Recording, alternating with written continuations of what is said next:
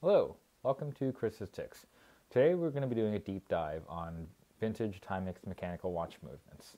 Specifically, today we're going to be looking at the M24 movement. However, what I'm going to say is going to broadly apply to most mechanical Timex watches.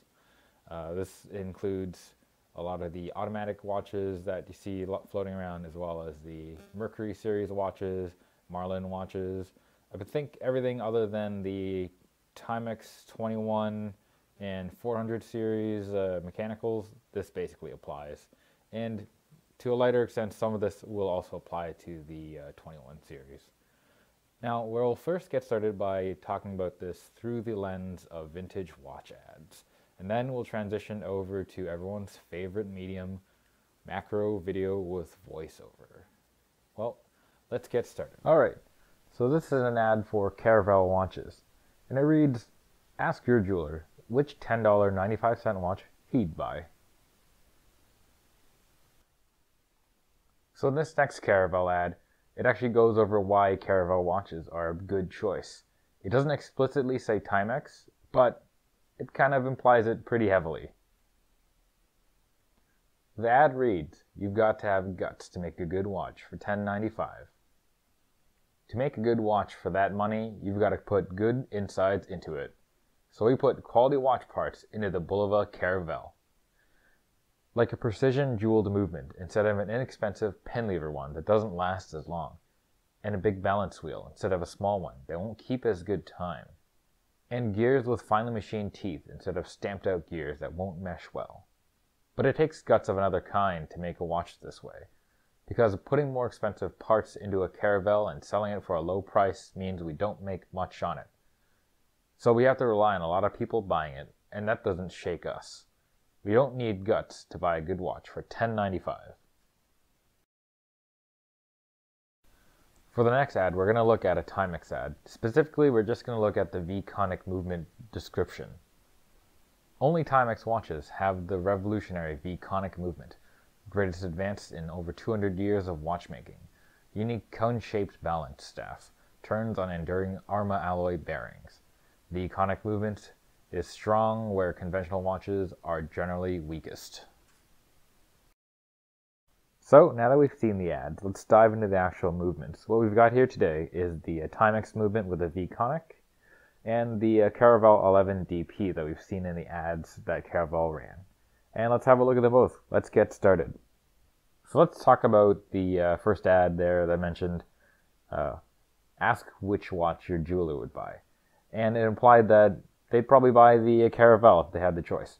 And that's actually probably true. Now, the second ad that we looked at goes over some reasons for this, but I think that there, there are much bigger reasons to be had to select the Caravelle over the Timex. Now, if, looking at the movements side by side for a watchmaker, one of the things that would probably pop first is that the Caravelle is built like a traditional watch, something that they're familiar with.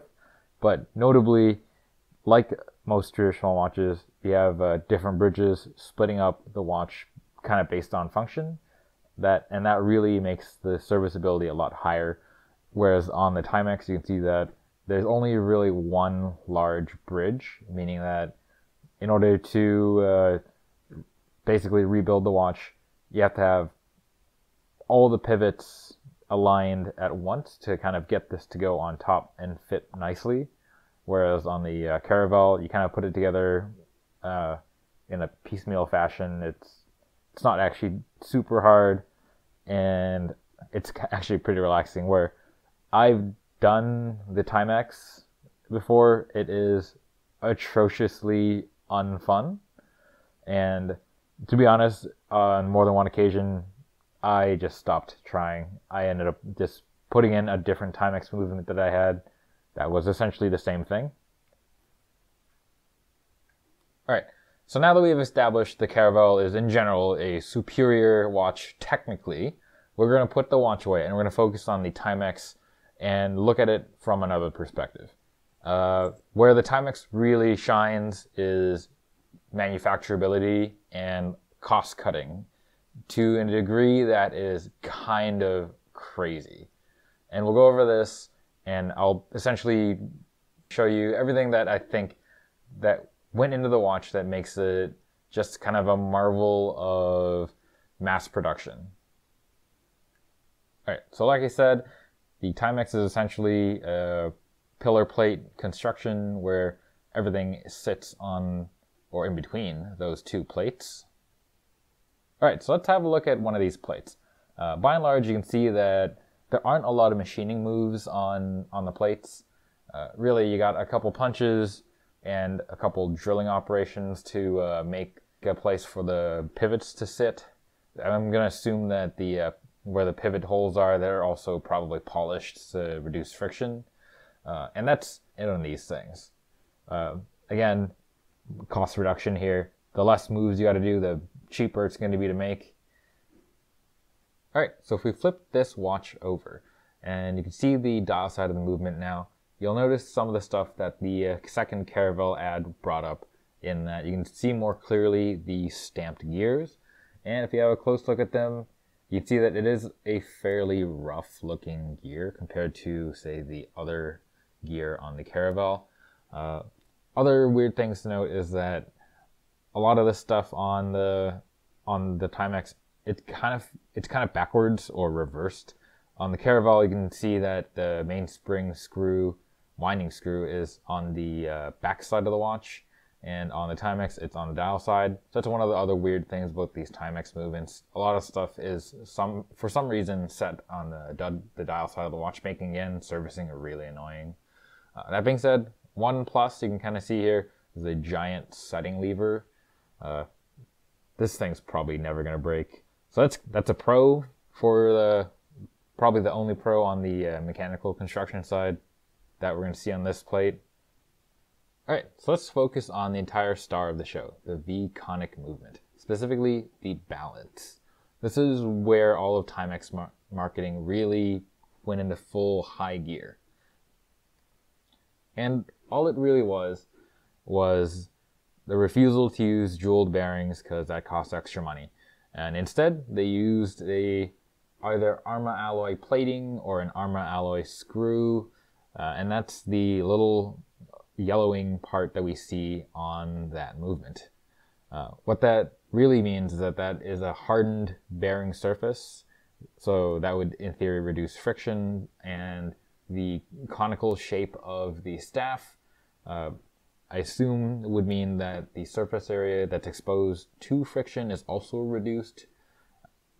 And combined all this stuff together, apparently exhibits high shock resistance. Uh, my guess would be that due to the increased hardness of the bearings compared to the balance staff. Uh, in the event of an impact, the bearing itself will not deform, however, the staff may wiggle a bit.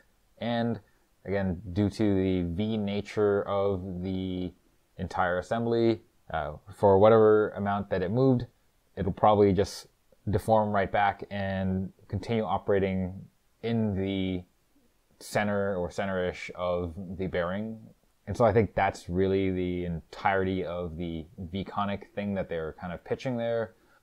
And for the most part, the whole system worked. I mean, you see examples of these Timexes now that still run after 70 years. Uh, don't know what the service history is, but I'm gonna guess based on the price of the watch, not very, uh, not very regular service. All right, uh, now let's move on to the dial. So this is an area that is another place where Timex basically saves some pennies. Uh, in basically every other watch, the dial is usually affixed via dial legs and a set of screws, uh, but not on a Timex, no. Uh, looking at the watch dial we have here, you can see that the watch dial has no feet. At least not ones that you're normally looking for. It does, however, have these tiny little tabs on the edge of the watch dial. And what this basically is, is that you put the dial on top where you need it to sit, and then you fold the tabs down, and that's what holds your dial in. Uh, this is an area which I actually think probably was a bit of a mistake. They, they should have sprang a little more money and actually made the dial a little more robust uh, again, considering that the movement itself was incredibly robust, I'm surprised that they went this way with the dial. Uh, maybe they assumed that the, the watch would never ever be serviced and therefore it did not really need to have the watch dial ever be taken out. Uh, however, it has proven to be one of the weird Achilles heels of this kind of watch. And it's because basically when you take the watch dial off, every time that dial comes off, every time you flex that piece of metal, the little tab, you're running the risk of snapping the tab. It's the same as if you were going to take a paper clip and you're just going to fold it back and forth in on itself. You get a couple in, but eventually the uh, the metal snaps.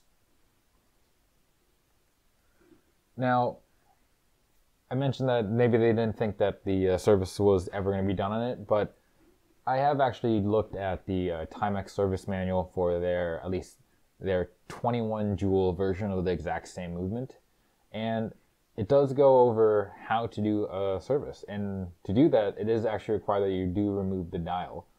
Uh, so maybe they just assume that over the life of the watch, it would maybe get one service, something that the dial would probably survive. However, that's still pretty annoying and a bit disappointing to see. But save a penny, earn a penny, as one of my friends said. It's the mentality of this watch, so it's not surprising it just sucks. Alright, so the last thing I want to talk about is the stem and crown. Uh, you'll notice that it looks pretty close to a normal stem and crown combo. It's maybe a little bit thicker, uh, a little more coarse looking. Uh, however, there's one thing missing from a stem and crown on a Timex, and that is the threads. You'll notice that on the uh, stem and crown, on most Timex mechanicals from this era, uh, automatic, manual, uh, doesn't matter, they're broadly the same. There are no threads, and what this means is that the stem and crown are essentially a pressure fit piece together. So if you remove a stem from a crown, chances are if you push that thing back together, it's not going to function as well as it did before just because now the friction on the crown is probably less than what it was prior. You could probably grab a set of pliers and squeeze that back down, but honestly, uh, once it happened to me, I kind of just chucked it and kind of got frustrated. Uh, I know it's a really small thing, but I've worked on a lot of these Timexes, and there have been a couple times where uh, repair has been delayed due to uh, stem or crown being broken, and I just didn't have a suitable combo of stem or crown to fit. Whereas if I had done this on a regular mechanical watch, I probably would have had a spare stem ready and a crown, and I could have just cut the stem to the lengths I needed and then applied the stem and crown combo to have a fully functioning watch.